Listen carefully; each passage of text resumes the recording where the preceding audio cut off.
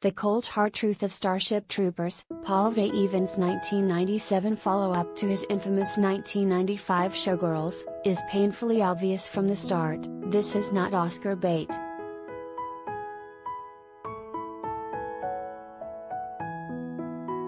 The acting is wooden, especially from lead actor Casper Van Dien.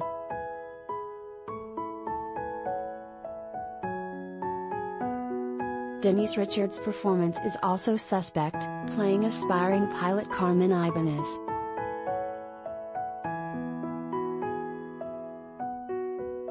The only actors that stand out are the steady veterans Clancy Brown and Michael Ironside.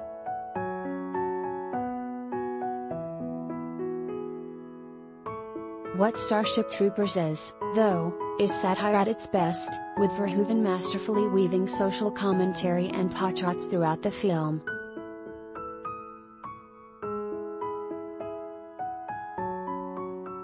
The plot itself is relatively straightforward.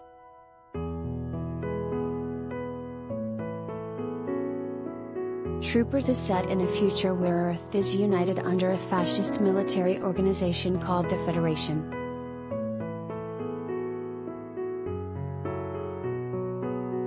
The people of Earth are split into two groups, citizens, who are people that have joined the federal service, and civilians, who have not.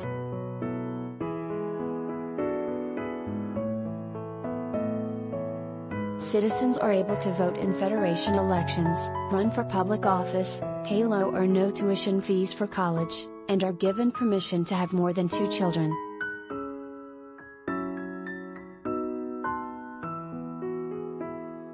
Civilians do not have the right to vote, do not have access to free education, and requests to bear children are more difficult to obtain.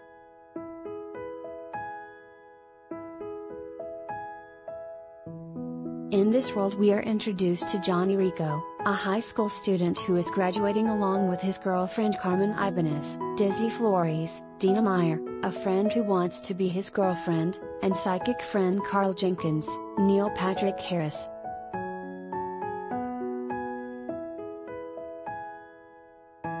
Carmen decides that she is going to join the military in order to become a class citizen.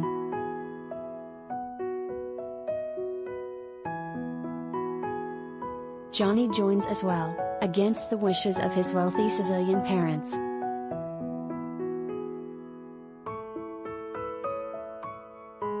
After days of military training, Johnny realizes he didn't join for the right reasons, but as he prepares to quit, news comes that an asteroid from the planet Klendathu hits his hometown of Buenos Aires, killing his family alongside millions of others.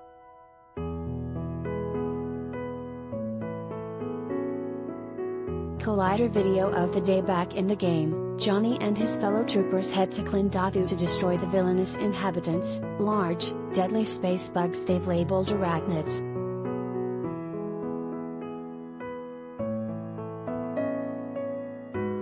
They realize too late that they have been lured to the planet and suffer tremendous losses as a result.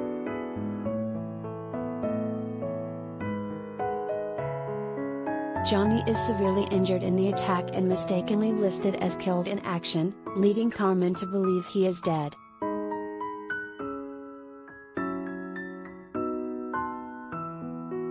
Recovering from his injuries, Johnny is assigned to the Roughnecks, a special unit of mobile infantry.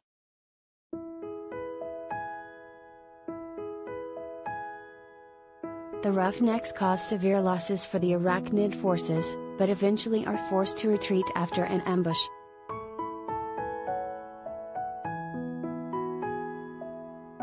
On a military starship, Johnny is promoted to lieutenant and given command of the Roughnecks, who are sent back to the planet to search for brain bugs, large and intelligent bugs that control the arachnid behaviors.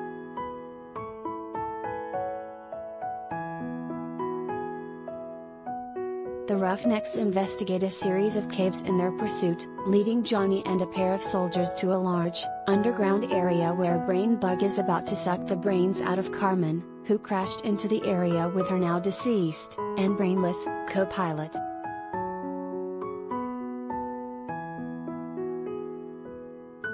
The soldiers flee while an injured soldier, Sugar Watkins, Seth Gilliam, stays behind to set off a nuclear warhead.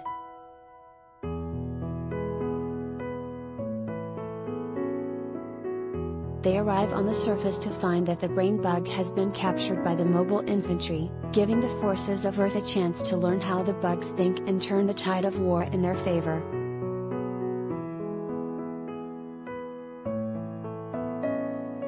Starship Troopers is almost two different movies, where the first half follows a group of high school graduates on the next steps of their journey, and the second half is unapologetic, full-on action from start to finish, bolstered by incredible, imaginative special effects. Fun fact, Starship Troopers was nominated for Best Visual Effects at the 1997 Academy Awards, but lost to the special effects-laden powerhouse Titanic.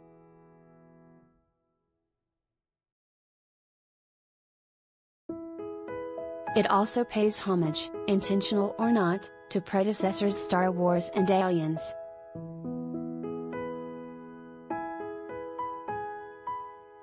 The sheer number of veterans in the film that have lost appendages to the bugs is, first and foremost, a telling sign of the importance of military and military technology over state-of-the-art artificial limbs, but brought to mind the incessant lopping off of hands throughout the Star Wars films.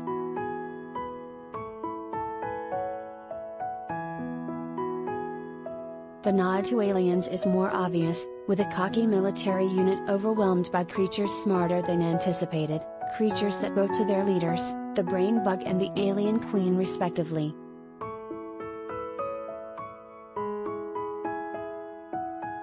In fact, the film made me think immediately of a quote from Hudson, Bill Paxton, in Aliens, Is this going to be a stand-up fight, sir, or another bug hunt? A few tweaks here and there would make it conceivable they exist in the same universe, with the bug hunt a literal reference to the arachnids.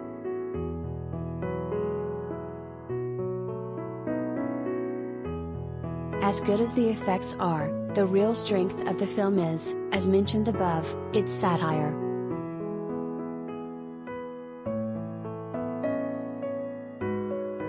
Like his Robocop, Verhoeven uses television clips and fake advertisements to take shots at society.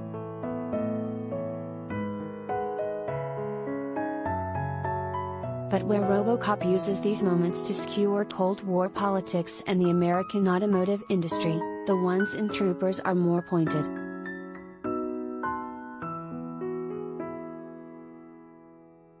They are satirical extremes of military propaganda, showing happy citizens, not civilians, shots of children joyfully holding guns, all while pushing for enrollment into federal service.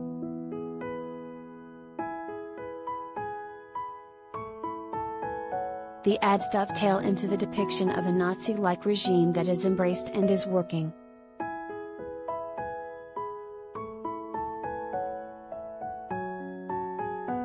The allusion to Nazism is so prevalent and over the top, from costuming to the use of a Nazi eagle-like symbol, that it clearly is satire to show the dangers of extremist policies, which somehow blew right past the critics of the day.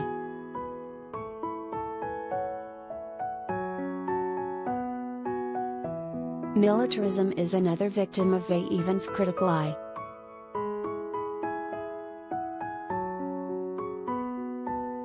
There is no plan for the Federation forces.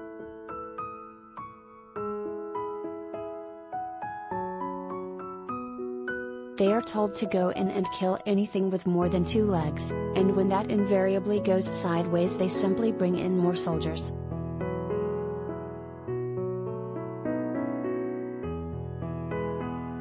The graphic scenes of the dead are an unwavering display of the horrors of war, a visual representation of the dangers of unchecked policy.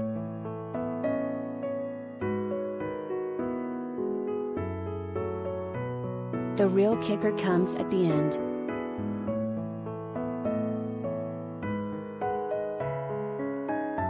Where other films would have the main characters learn about the dark side of their leadership, even opting to fight against it, Starship Troopers protagonists instead become part of the system, a vicious circle where they are now the stars in the propaganda.